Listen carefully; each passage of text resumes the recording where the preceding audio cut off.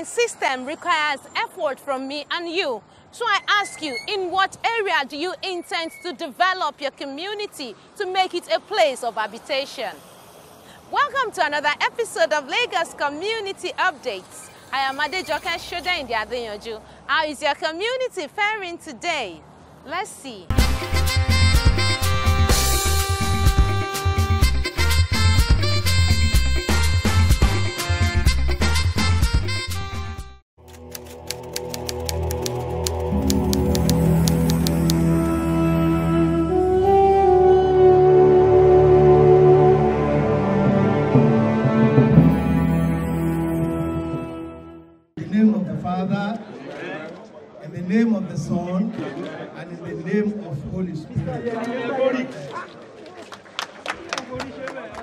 The 1599 masterpiece of William Shakespeare, Much Ado About Nothing, captures the story of Obawale community and their over a decade ago struggle with the management of Ikeja Electric.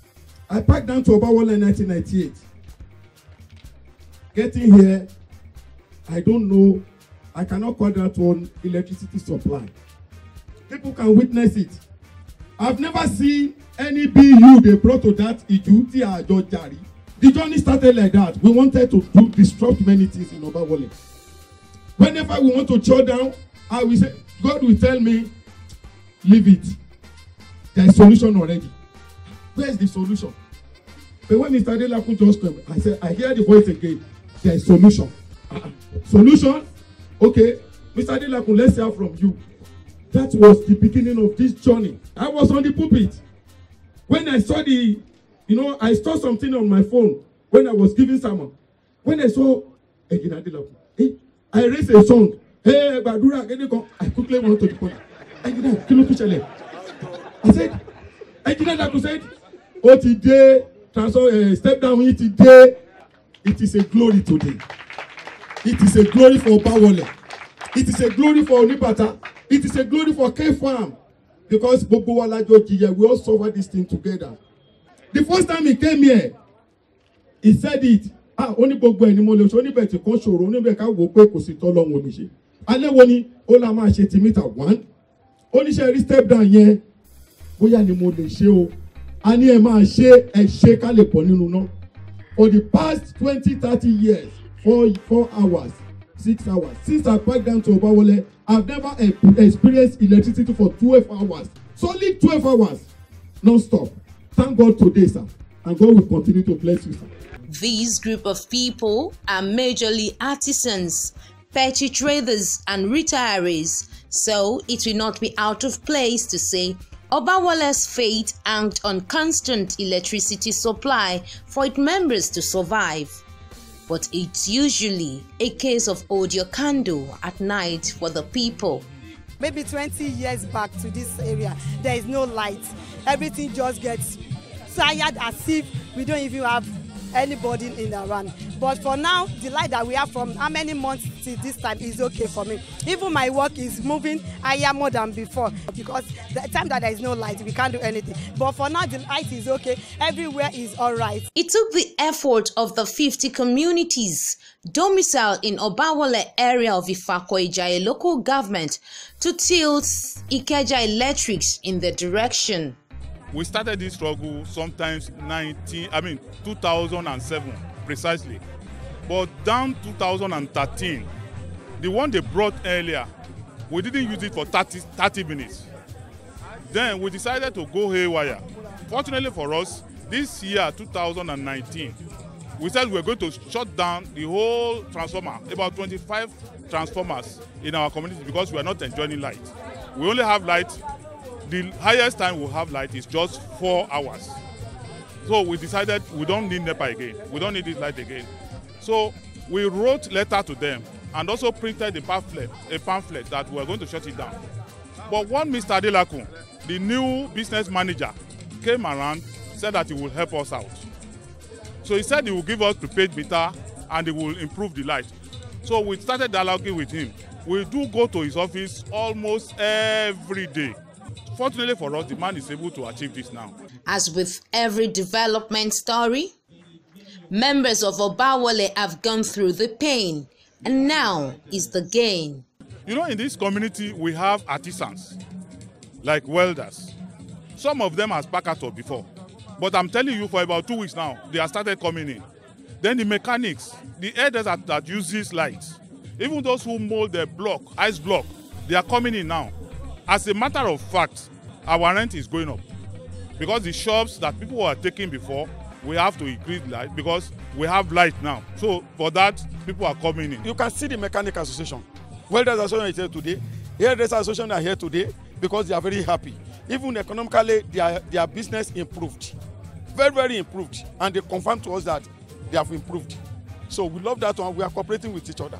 Ikeja Electric has built a new injection substation worth 500 million naira which will enable residents of Obawole community have access to over 15 hours electricity supply from the usual 2 hours daily.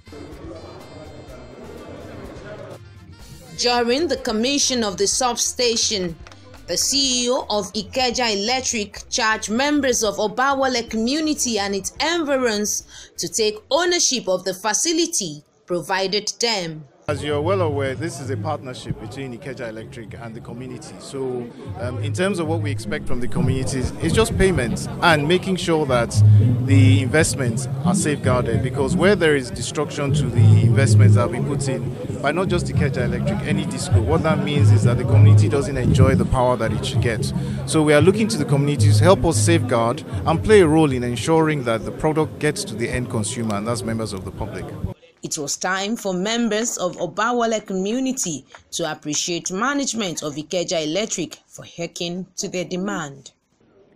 You, Your Excellency, services to the community, you have presented this award today, 18th July 2019.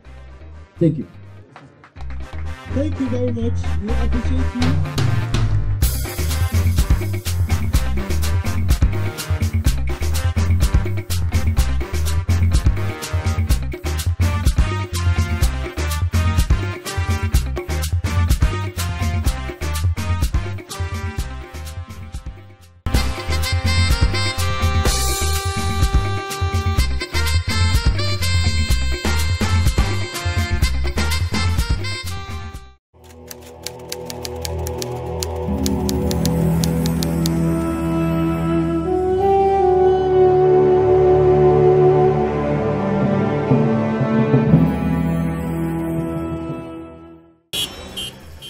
Lagos is one of the most congested cities in the world.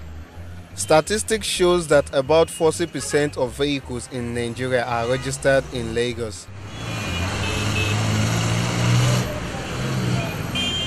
With the ever-busy nature of Lagos roads, commuters spend hours of their productive days in traffic. In a bid to make Lagos road traffic-free, Governor Babajide Sanwo-Olu has devised various means of addressing the recurrent traffic on the highways. They will go out and be patching all of the potholes. First, he empowered the Lagos State Traffic Management Authority by increasing its allowance to enhance their performance. Second, the governor began the implementation of Lagos traffic laws aimed at maintaining sanity on Lagos roads. But there are rules that need to guide and govern all of. Among his moves is the ongoing road rehabilitation across the nooks and crannies of the state. This is evident as officials of Lagos State Public Work Corporations are seen on site across the state, filling potholes which are a major cause of traffic congestion on the highways.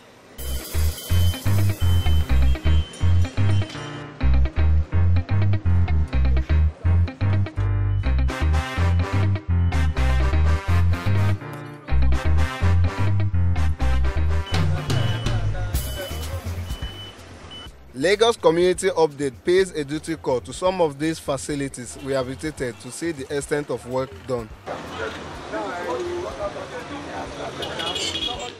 Agege Local Council Development Area was the first point of call. This area is highly dominated by small and medium scale enterprises contributing their quota to the economic development of the state.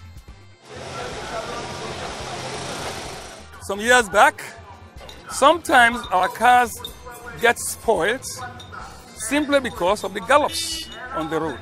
Because of rainfall and things like that, and uh, flood in the area, the road has been spoiled. There are potholes all over Marcus Road.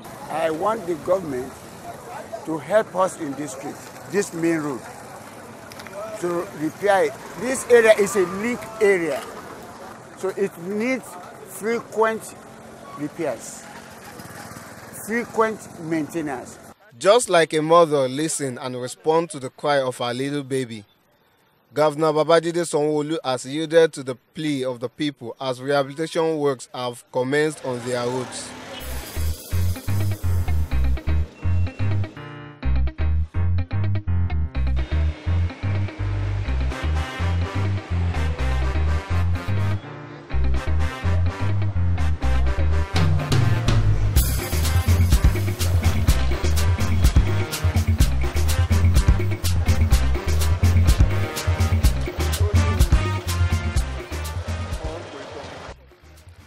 Oke Koto, Marcus, Oniwaya, and Capital bus stops. These were major spots where potholes are causing heavy traffic jam on the roads. About three weeks ago, commuters plying this road experienced agony. They record what they went through on a daily basis. Here, here it was a very deep uh, pothole, very, very deep. This around this, uh, this place, you can see it, just repair it now. Before, it was a het very hectic. The traffic doesn't flow. You know, there's long, you know, long uh, uh, uh, hold up here before, the, uh, before it was uh, repaired. Before they reach this our road, there are a lot of problems concerning this road before you come. Do call many accidents, do call many, a lot of things. Like this time, this past one, there will be queue. There will be, there will be block road, everywhere will be jam packed with, with buses and, tra- uh, and all these commercial users. Thank you to Mr. Sanwo-Olu, our new governor. We really appreciate what he did for us, for taking care of the roads, because there's normally traffic, traffic along the two sides towards Ipaja Road and this Okekoto junction. So we will, now we are now free. There is no any hold. Now at least it's better it's level motor can move freely and when you are crossing you are, can be free to cross At least for now, we have seen their effort. They are really trying. Most of the potholes have been filled now. You see them even in Shaga Road, uh, Iju Road, they are working there. Even in Keja, Oba, Oba Akran, they are working there. Like other places, I've seen them because they are trying. And our governor is working. Another area visited was the popular Fagba Iju Ishaga Road, located in Ojokoro under Ifako Ijaye Local Council Development Area of the state.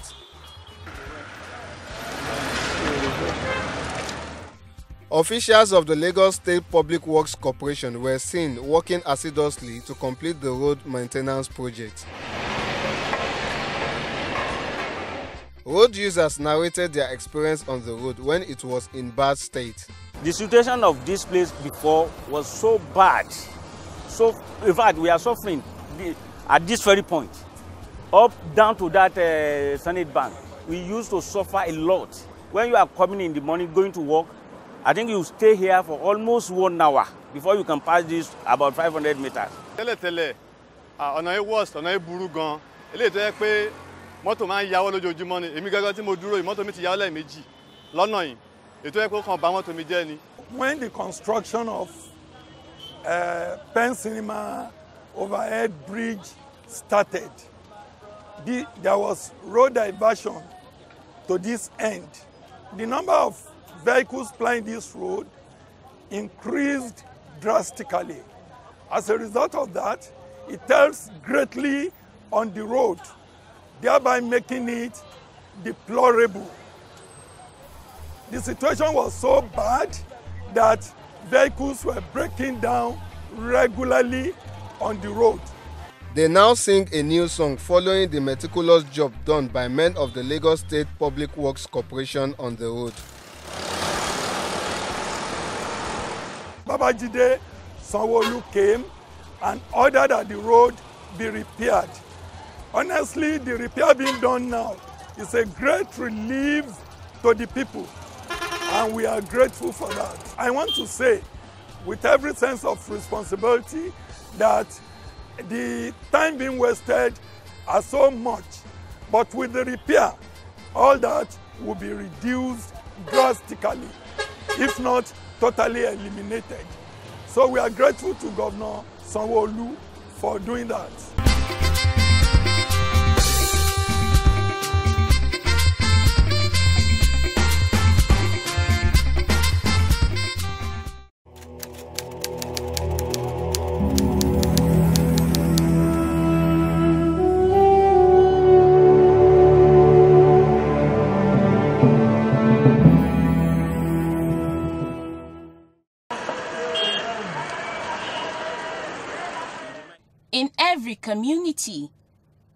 Different human and economic activities abound.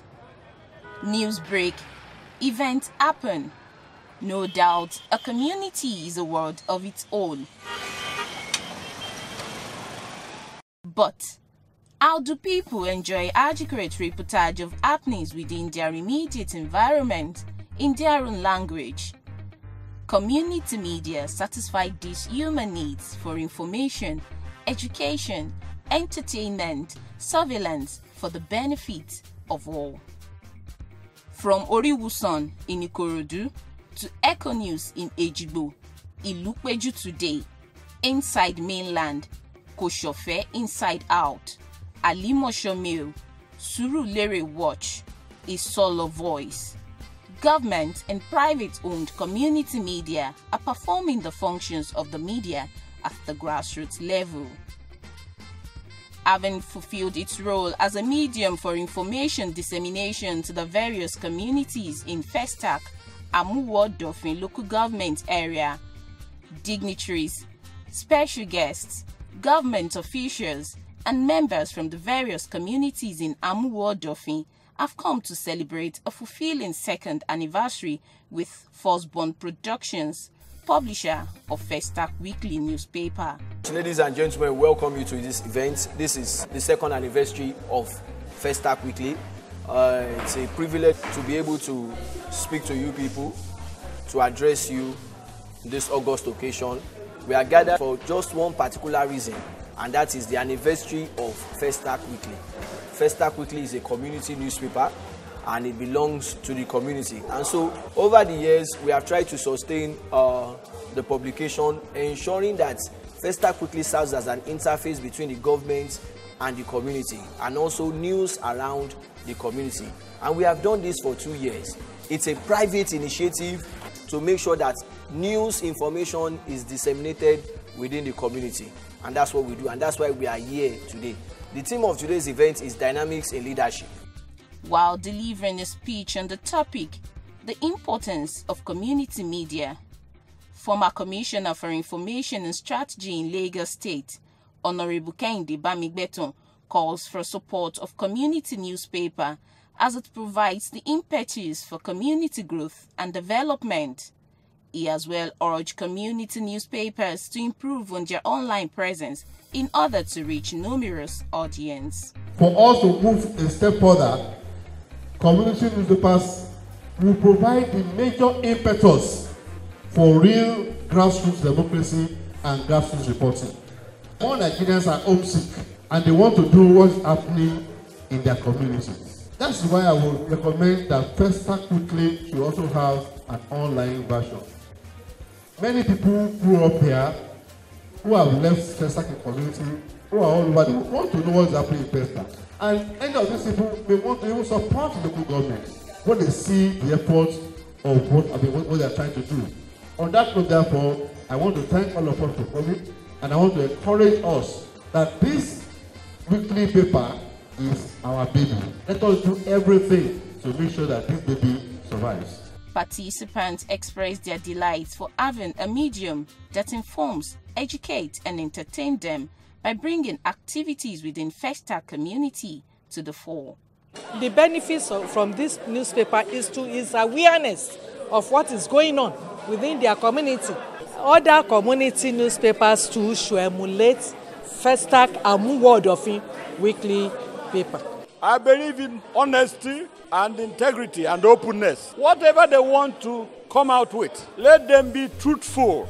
Let them tell people what is true. Falsehood don't help anybody.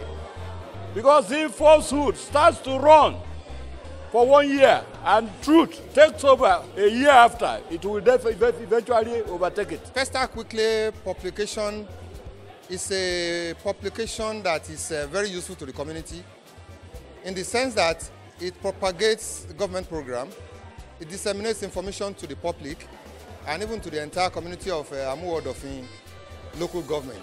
People want to know what is going on about Festac. It's a good development that people, it will enrich those who live in Festac and those who live in Festac before and outside, they will know what is going on within the Festac. It's a good magazine for me.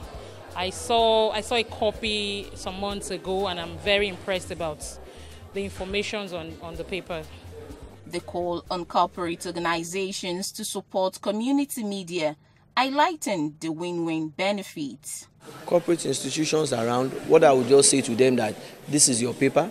If you are looking for the best place to advertise, if you are looking for the best place to reach out to your community, this is your paper. First Festac Weekly is there to sell you out to make sure that your community know that you are doing business in the environment and to increase your patronage. Corporate organizations and individuals, they should come and support them. It's a good source of information. When you can advertise on magazines like this, they can be aware that, oh, there's so, so and so hospital around where I can rush my child to, or so, so and so investment where I can get something for the community, or even for myself, without going outside the local government. They, however, urge the government to support and create an enabling environment for community media to thrive. The important support is for government to know that whatever these people are saying, they are saying it religiously. They are saying it to disseminate information about the in-depth of the government, about government program to the public so as to know inwardly what government is actually doing. Every month we print out about 4,000 copies and they are given to residents free of charge. And we don't get any sponsor from anywhere, particularly. We get our finance from our advertisers. So we are pleading with business owners around the community to patronize us. Our rates are very affordable. It's a good opportunity for them to be known by the community and then they will get more patronage. Governments, particularly local governments, need to support community media. First and foremost with information about what they are doing and how they are serving the people. The fact that community media is employing some people is also helping government to reduce unemployment. We have had community updates. That is part of uh, dissemination of information. I am privileged to be a member of the Lagos State Advisory Council and I know what the former Commissioner for Information in person of uh, Mr. Akande Bamigbeton, what he has done. He even published newspapers which carry on the government alongside with the people. So it behooves the present governor to carry out the same program. Government is continuous.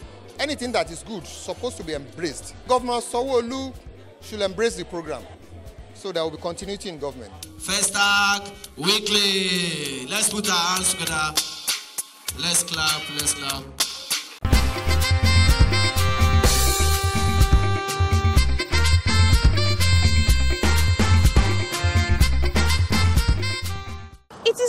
About creating self-development projects in our various communities for ease of habitation. It also required us to take ownership of government's projects and properties in our areas. As Lagos Public Work resumed to site to fix potholes for ease of vehicular movement, we urge you not just to use the road but also to take ownership of them.